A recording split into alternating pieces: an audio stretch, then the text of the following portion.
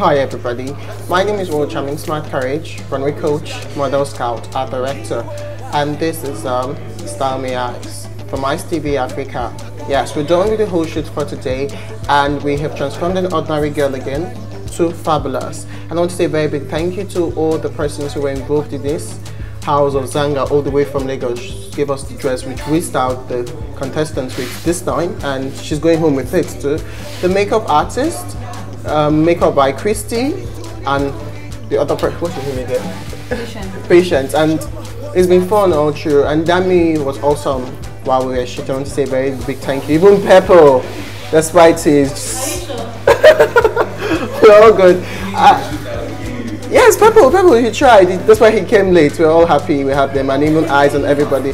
Thank you very much. But keep on watching Ice TV Africa because we'll be styling some other girl famous soon. Remember the logo? We style you famous. Yes, and we style you eyes. If you want to reach me, Facebook World Charming Smart Courage.